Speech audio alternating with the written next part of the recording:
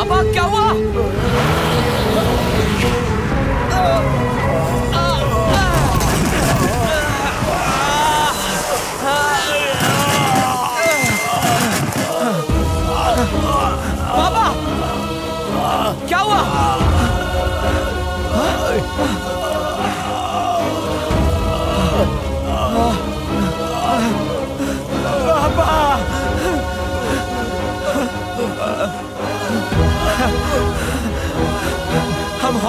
जाएँगे पापा।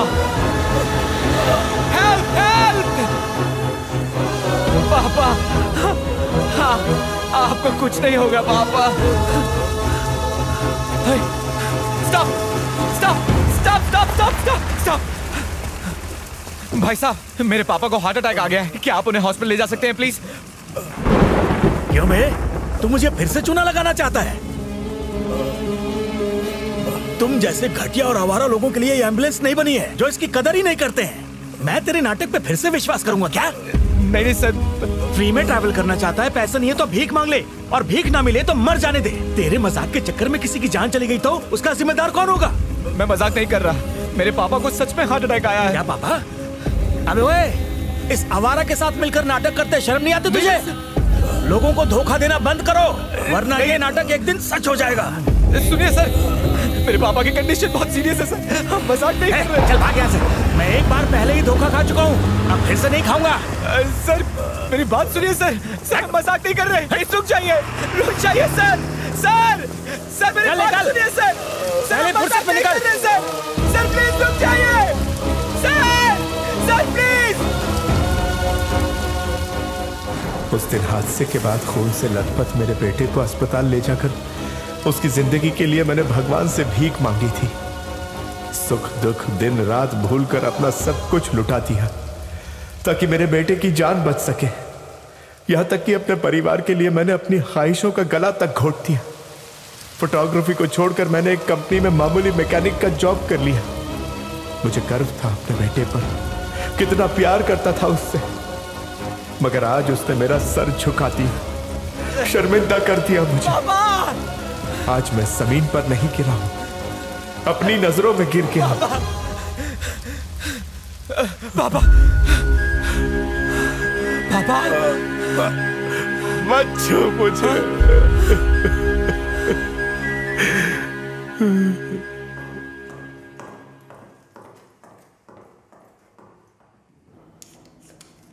ये माइल्ड हार्ट अटैक था। मैं कुछ दवाइयाँ लिख कर दे रहा हूँ। उसे टाइम पर लेते रहिएगा।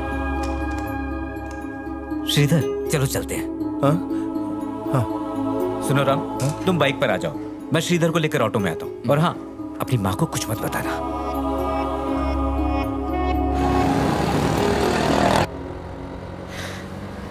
कुछ नहीं होगा टेंशन मत ले। अब पहली बार अटैक आना यानी खतरे की घंटी है। भविष्य में कुछ भी हो सकता है। अगर मुझे कुछ हो गया तो मेरे परिवार का क्या होगा? जब हमारी शादी हुई थी तो मैंने उससे वादा किया था कि मैं तुझे सारी खुशियाँ दूँगा। सिर्फ़ मेरे जीते जी नहीं, बल्कि वो इस दुनिया में रहेगी तब तक। मैं चाहता हूँ मेरे जीते जी, मेरी बेटी कीर्ति की शादी हो जाए, मेरा बेटा सेटल हो जाए, और इतने पैसे जमा कर लूँ कि लक्ष्मी को उसके लिए मोहताज ना होना पड़े।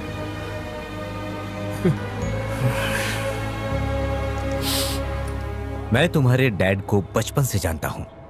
तभी से हमारे दोस्तों को लगता था कि तुम्हारे डैड बहुत मज़बूत दिल के हैं। लेकिन अब लगता है कि वो दिल कमज़ोर हो गया है। दरअसल बच्चे ही माँ बाप के दिल की धड़कन होते हैं। और बच्चे ही अगर कामयाब ना हो तो दिल भला कैसे मज़बूत होगा? श्रीधर की जान तुम में बसी है। मुझे आज भी याद है तब तुम दो साल के थे और खून में लथपथ तुम्हारा पिता तुम्हें लेकर डॉक्टर से तुम्हारी जान बचाने की गुहार कर रहा था। अपनी परवाह किए बगैर उसने तुम्हारे लिए अपना सब कुछ लुटा दिया। बदले में तुमने उसे क्या दिया? दुख और तकलीफ़ जिसकी वजह से उसकी आज ये हालत हुई है। तुम्हारे लिए अपनी ख्वाहिशों को मारा है। तुम्हारे लिए अपने सपनों का गला घोट दिया। और तुम्हें ही अपनी दुनिया मान लिया। तुम, तुम्हारी माँ और तुम्हारी बहन, तुम्हारी सारी पढ़ाई लिखाई, बस यही उसका मकसद बन गए। तुम्हारे लिए जिसने ये सब किया, आज वो मुसीबत में लाचार है। आधी रात को बरसात में सड़क पर बेसहारा पड़ा था। मैं ये बर्दाश्त नहीं कर सकता। मौत से लड़ते हुए भी उसे अपनी नहीं, तुम्हारी फ़िक्र थी। उसके बगैर तुम सबका क्या होगा? सच्चा बाप यही सोचता है। इस बार तो वो किसी तरह बच गया। शायद फिर ना बच पाए। तुम उसे कोई खुशी ना दे पाओ तो कोई बात नहीं। लेकिन अब उसे कोई गम मत देना ये याद रखना।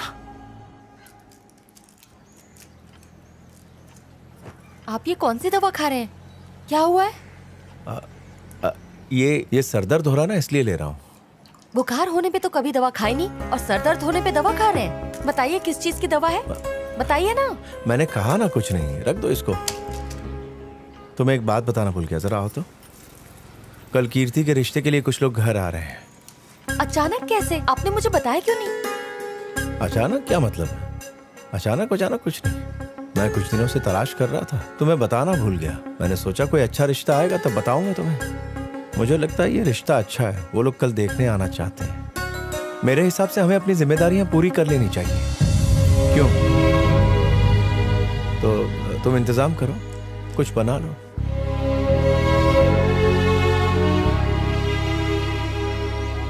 तुझे लड़की पसंद आई ना? पसंद है पापा। मुझे भी पसंद है। भाई साहब हमें आपकी लड़की बहुत पसंद आई। धन्यवाद। हैंडसम है ना? बाकी लेन देन की सारी बातें मैंने भाई साहब को समझा दिया आपसे बात कर लेंगे। आ, आगे की बात मैं कर लूँगा? ठीक है हम चलते हैं। तो चलते हैं। नमस्ते। नमस्ते। नमस्ते। आइए। नमस्ते। नमस्ते। देखिए हाँ जी। वो लोग ज़्यादा नहीं बस दस लाख मांग रहे हैं। और बच्चों के रहने के लिए एक फ्लैट।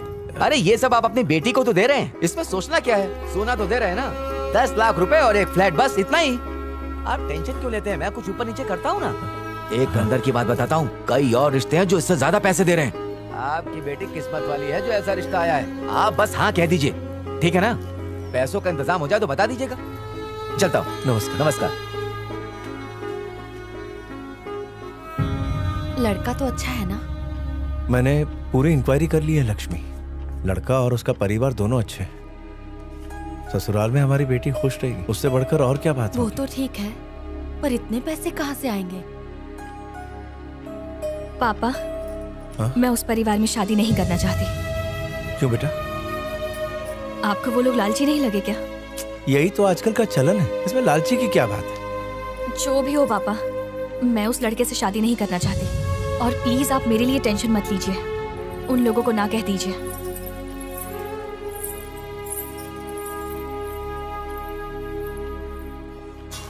औरती क्या देख रहे हो? मेरे बेटे को लॉटरी में कार मिला है हाँ? और कार के साथ फ़ोटो भी भेजा हाँ, है ये तो हाँ, बहुत अच्छी बात है। जरा मैं भी तो देखूँ। क्या बात है? कार तो ज़बरदस्त है। हाँ मेरा बेटे को तो कार मिला है। इसका बेटे को तो कनाडा में फ्लैट मिला हाँ, है नितेश? तू तो बड़ा किस्मत वाला निकला। बहुत खुशी हुई। लेकिन कुछ बाप ऐसे भी होते हैं जिनकी किस्मत में ये खुशी नहीं होती। वो लोग अपने आवारा बेटे को पालने में अपनी ज़िंदगी निकाल देते हैं और ऐसे नालायक बच्चों का कुछ नहीं हो सकता।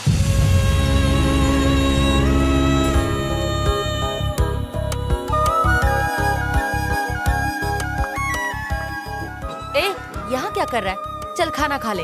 माँ मुझे भूख नहीं है। आप जाके खा लीजिए। भूख नहीं लगी है? टाइम देखा है? चल आजा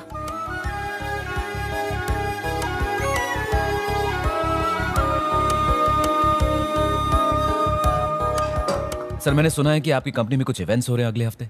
हमने भी कंपनी शुरू की है सर। लेकिन सर हमारी कंपनी का कॉन्सेप्ट बहुत ही अलग है। हम इवेंट्स तो करते हैं लेकिन हम उन्हें सरप्राइज़ कहते हैं। हाँ मैं तुम्हारी कंपनी को अच्छी तरह जानता हूँ। सोशल मीडिया पर तुम्हारी कंपनी के काफ़ी चर्चे हैं। तुमने देखा नहीं क्या? रुको मैं दिखाता हूँ।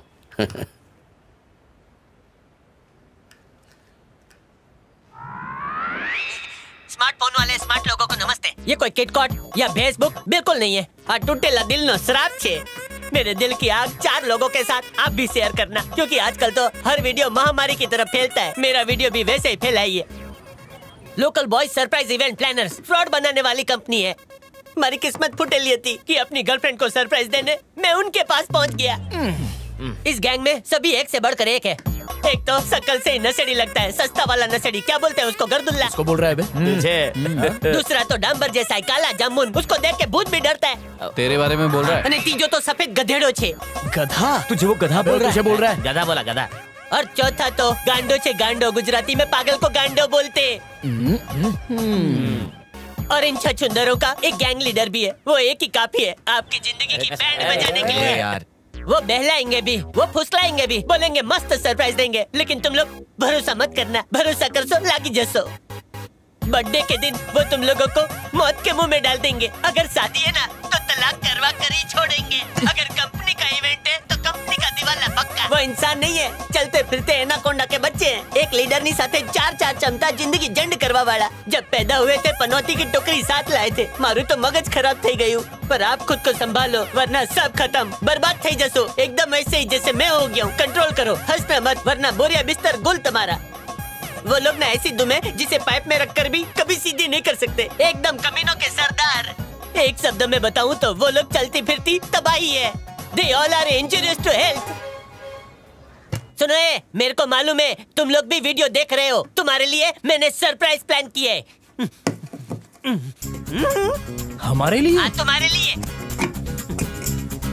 श्राप देता हूँ बर्बाद થઈ जाओ। ये तो मार्केट में हमारे नाम पर गोबर कर अगर यही हाल रहा ना तो एक दिन पब्लिक हमें जूते चप्पल और अंडे से मारेगी। छे। ए, इस चिरकुट के वीडियो को 40 लाख लाइक्स मिले हैं। इसने तो पूरा भांडा फोड़ दिया। अब कौन काम देगा हमें? कौन काम क्यों देंगे वो काम? सरप्राइज़ एक तरह का इमोशन होता है। और अगर तुम उनके इमोशन के साथ खिलवाड़ करोगे तो बताओ कोई भी तुम्हें काम क्यों देगा? अगर हम किसी के चेहरे पर एक छोटी सी भी स्माइल ले आए तो ये हमारे लिए सबसे बड़ी जीत होगी। तुम्हें पता है क्या करना है। लेकिन करने का सही तरीका क्या है ये नहीं जानते। यही तो प्रॉब्लम है। अगर सही से प्लान करोगे तो सब कुछ ठीक हो जाएगा। सही से प्लान करने के लिए ऑफ़र होना चाहिए। हमारे पास तो काम ही नहीं है। मैं तुम्हारे लिए काम लाई। हूँ मैंने इसके लिए पहले ही एमडी सर से बात कर ली है। कल एमडी के डैड का बर्थडे है। वो हमारी कंपनी के चेयरमैन है। अगर तुम ये इवेंट सही से प्लान करोगे तो हमारी कंपनी के सारे इवेंट्स तुम्हें ही मिलेंगे। तुम्हें पक्का यकीन है? पक्का। हम एक शानदार इवेंट करेंगे। अपने एमडी सर से मिलाओगी ना? हम्म।